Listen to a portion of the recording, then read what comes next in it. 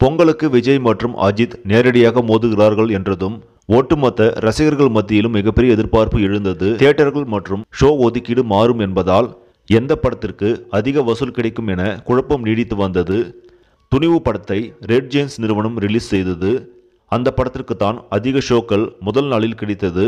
அதனால் தமிழ்நாட்டில் துணிவு படம்தான் முதல் நாளில் அதிகம் வசூலித்தது என விஜய் ரசிகர்கள் கூறி வருகிறார்கள். இந்நிலையில் வாரிசு படத்தை ரிலீஸ் செய்த செவன் ஸ்கிரீன் ஸ்டூடியோ நிறுவனம் அதிரடியாக ஒரு அறிவிப்பை வெளியிட்டிருக்கிறது.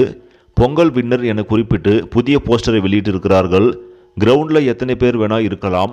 ஆனால் ஆடியன்ஸை டிக்ளேர் பண்ணிட்டாங்க. ஆட்டநாயகன் யார் என்றும் இது வாரிசு பொங்கல் என்னும் என ட்வீட் செய்திருக்கின்றார். இந்த பதிவு தற்போது வைரலாகி வருகிறது. சரி நம்பர்களே இந்த செய்தி உங்களுக்கு பிடிச்சிருந்தா லைக் பண்ணுங்க ஷேர் பண்ணுங்க. மறக்காம நியூஸ் தமிழ் சேனலை சப்ஸ்கிரைப் பண்ணுங்க. அடுத்த வீடியோவில் சந்திக்கலாம். நன்றி.